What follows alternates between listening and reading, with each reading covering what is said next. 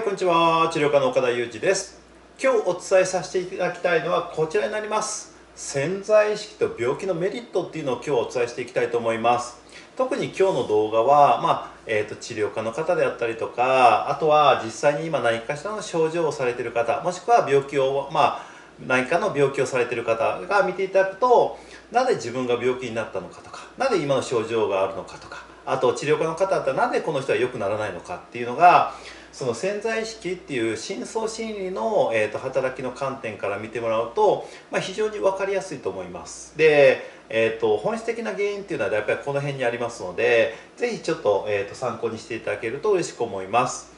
じゃあ早速ちょっとお伝えしていきたいと思うんですがまずですね、えーと、その病気のメリットっていう部分ですね。病気には、えーと、必ずメリットっていうのがあるんですね。で普通頭で考えると要は病気にやることに何のメリットがあるのかっていう普通思うと思うんですよ。例えばこういう多分腰痛でもいいんです。腰痛例えば症状で腰痛がありますって。腰痛ってやっぱり痛いですしすごく不自由になるので例えばそこにメリットなんか普通ないってやっぱ考えがちなんですね。で例えばまあがんとかそういう病気とかで結構ですけどがんとかでもがんになりましたって何の苦しいし痛いし治療も大変だしお金もかかるし何のメリットもないじゃないですか普通に考えると。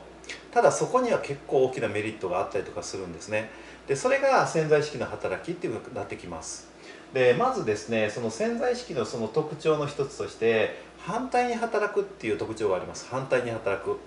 要は、えーと、潜在意識頭で思ってることと潜在意識深層心理で心の底で思ってることっていうのが真逆に働いてしまうっていうのがあるんですよ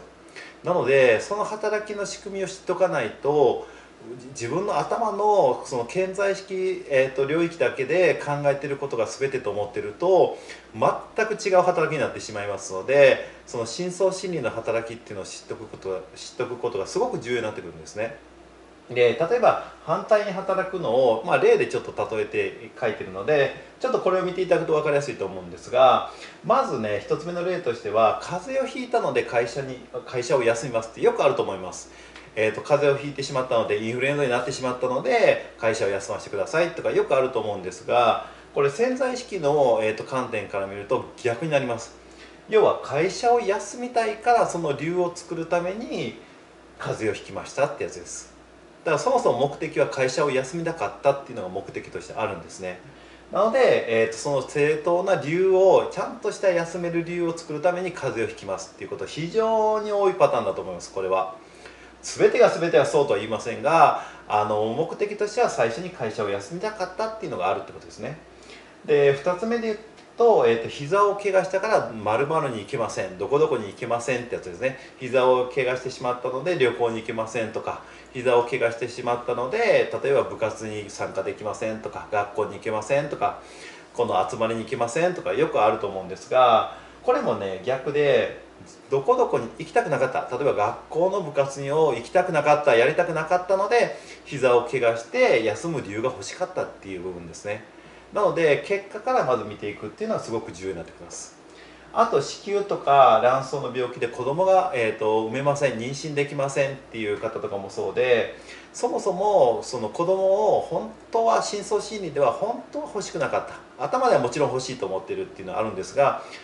あの心の奥底では本当は欲しくなかったけどその理由を作るためにそういう卵巣とか子宮の病気をやってしまうっていうことは結構あるんですね。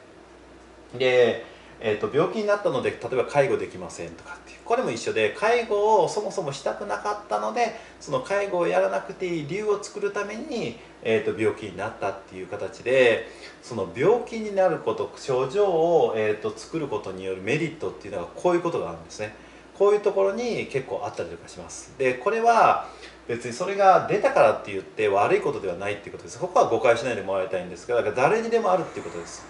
なので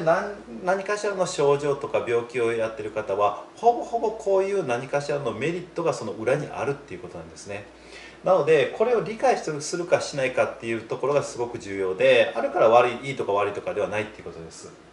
なのでこういうのを、まあ、別の言い方で言うと心理的な逆転って言って要は頭では良くしたいとか直したいと思ってるけど実はその裏にはそこによるメリットであったりとかっていうのが存在してるっていう部分があるんですね。これが潜在意識の働きで反対に働くっていう作用があります。で、えー、と大事なのはさっきも言いましたけどその結果で結果何を得たのかってその病気とか症状をやることによって結果その人が何を得てるのかっていうのがすごく重要でその例えば腰痛になって会社に行けなくなりましたってなりますいや例えば椎間板ヘルニアになりましたっていういや手術をすることになって会社に行けなくなりましたっていうその結果何がか、えー、その人が得たかったのかっていうと要は会社に行きたくなかったっていう結果を得たかったって感じですね。なので原因はじゃあ椎間板ヘルニアになったその原因は何かっていうと腰の何番と何番の椎間板がすり減ってとかではないってことなんですよ。原因は会社に行きたくなかったっていうのが原因でじゃあそのなんで会社に行きたくなかったのかそれは人間関係なのかもしれないし仕事のプレッシャーなのかもしれないし何かしら嫌な上司がいるのかもしれないし何かしらのその、えーと原因があるんですよ会社行きたくないっていう。だから本当の原因はそこにあるっていうことですよ。会社に行きたくない理由がそこにあるっていうことですね。それがその椎間板ヘルニアだったらヘルニアを作ってる本当の原因になってくるので私たちのその普段やってる臨床っていうのはだから結果のその椎間板ヘルニアの椎間板がどうなってるとかは見ないってことですよ。そこは結果なので見るのは何で会社に行きたくなかったのかっていうところをあの検査とかで見ていくってことです。ただこれはまあ本人も分かってないので、まあ、それを、えーと、そのいろんな検査を使いながらその方の潜在意識の中からどういう問題が背景にあってそれが椎間板ヘルニアを作ってるのかっていうのを検査として見つけていくっていうことです。なのでもちろんカウンセリングでその人の状態とか状況とかも聞いたりするんですが本質的なところはその潜在意識から調べないとわからない誰もわからないので、まあ、そういうのを技術してやってるっていうことになってきます。なのでそうすると例えばさっきの会社行きたくない理由っていうのが何かしら出てきたところに対して修正を加えていくことによって結果としての椎間板ヘルニアの治りが非常に早くなったりとか、あのそれをもうやる必要がなくなってくるので腰痛だったら腰痛がすごく早く治ってしまったりとかあのこういう病気とかも早く治ってしまったりとかっていうことが起こってくるっていうことなんですね。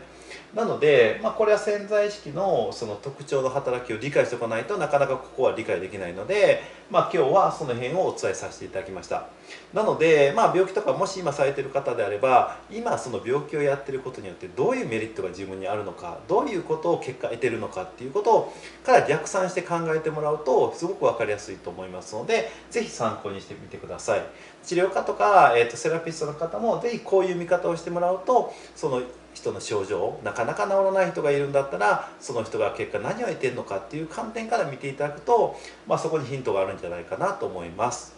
ということで今日は、えーと、潜在意識と病気のメリットっていうのをお伝えさせていただきました。またこういう形でいろいろお伝えしていきたいと思いますのでチャンネル登録よければお願いします。ありがとうございました。